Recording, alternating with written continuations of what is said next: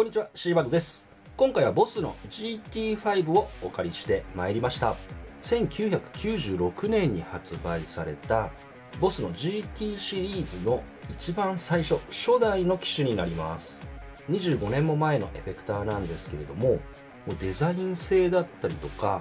この使い勝手的な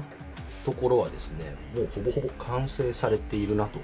GT100、GT1000 にそのまま直結しているようなデザイン性と操作性になっております。なぜ今になって GT5 を使おうかと思ったかというと、ここのオーバードライブディストーション、これがですね、アナログ回路だということをお聞きしまして、それはぜひ鳴らしてみたいということで、今回お借りしてまいりました。このオーバードライブディストーションの中にはですね、まあ、OD1 のモデリングと OD2、あとブルースドライバーだったり DS1、と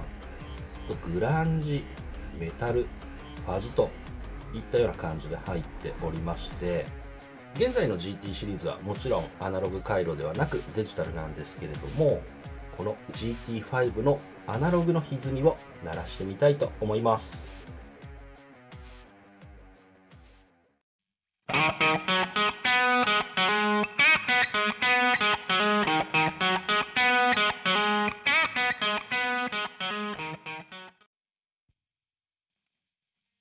out.